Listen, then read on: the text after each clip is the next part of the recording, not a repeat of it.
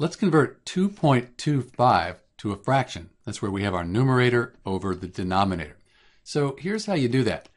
First, we want to consider this 2.25 over 1. It's still 2.25, we're just dividing by 1, but this gives us the start of fraction form.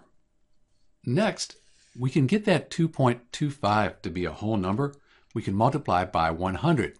We have one, two decimal places. Two decimal places, we multiply by 100. So 100 times 2.25, that's 225. But 225, that's not equal to 2.25. We need to do the same thing to the bottom of the fraction here as well. So we're going to multiply this by 100. And really 100 over 100, that's just 1. We're multiplying by 1. We're not changing the value, just the way it's represented. 100 times 1, that's 100. And now we have a fraction. We can simplify this though. Let's give ourselves some more room here.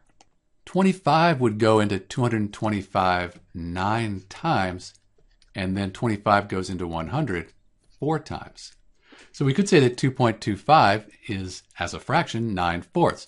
But we could put this in a mixed format as well. So 4 goes into 9 two times. 2 times 4 is 8. So we could say we have a 2 here, and we have 1 left over, 1 over 4. So you can think of it 2 times 4 is 8, plus 1, that gives us the 9, 9 fourths.